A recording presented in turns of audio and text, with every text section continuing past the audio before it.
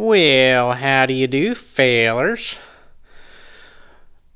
I wanted to uh, make this video here uh, with my good camera instead of with my GoPro uh, when I take the bike out for the first ride here soon.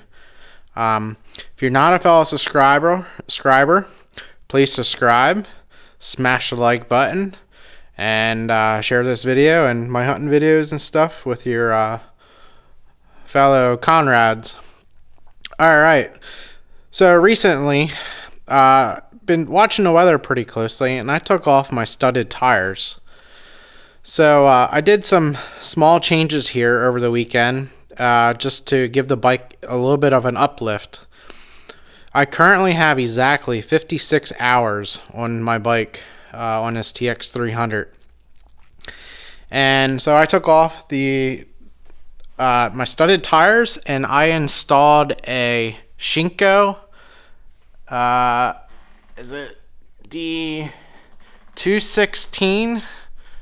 My camera focus here. 216 MX uh, fat tire. It is a 90 100 uh, 21. And then on the rear, you guys can see this really funky tread pattern. This is a Sedona um, H or MX. I think it's MX. Uh, yeah, MX 907 HP. And this tire was highly recommended by Jeff Slavens. Race or Jeff Slavens.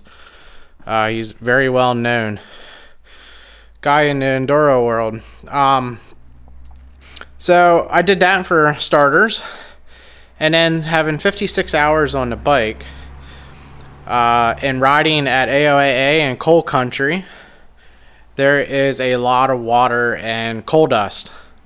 So I ripped the bike down, and I'm gonna throw in some pictures here for you. I I uh, greased or took out the swing arm and cleaned and re-greased uh, the swing arm bearings. Gone through the the back of the case or back of the motor there, the tranny, and then took out the linkage and um, cleaned that real good. Uh, the needle bearings, them things are a pain in the butt. If you guys ever took out your linkage bearings, uh, clean them, re-greased them, and then put everything back together.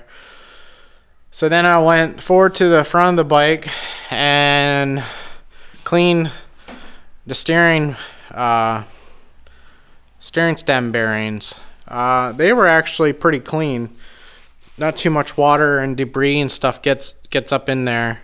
Uh, I'd stay away with a pressure washer. I don't get real close. So after that, I decided, well, might as well change the oil in my suspension. So I went to the back of the bike and then I ripped out the back shock.